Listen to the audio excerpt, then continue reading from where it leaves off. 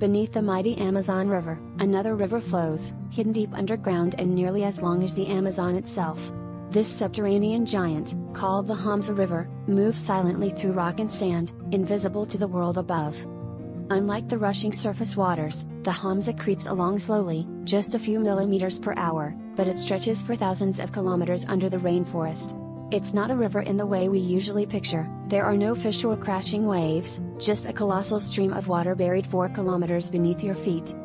Scientists only discovered this underground waterway in the last decade, using heat sensors and deep wells drilled for oil exploration. It's so massive that it helps explain the Amazon's endless lushness, feeding the rainforest from below and shaping the land in secret. Right now, as you read this, two rivers are flowing side by side, one on the surface teeming with life, the other silently carving its path through the darkness, hidden from sight and rewriting what we know about the world's greatest river system.